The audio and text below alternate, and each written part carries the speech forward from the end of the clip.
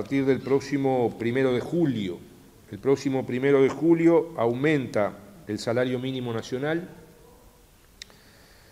El salario mínimo nacional está desde el primero de enero en 15 mil pesos, aumenta a 15.650 el primero de julio y a 16.300 el primero de enero del 2020. O sea, están previstos ya los dos aumentos por decreto.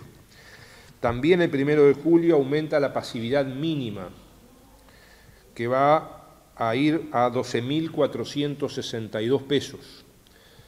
Eh, recordemos que en los últimos 12 años la pasividad mínima, la jubilación o pensión mínima, se ha multiplicado por 3 en términos reales. En 2007 pusimos como primer valor base una BPC.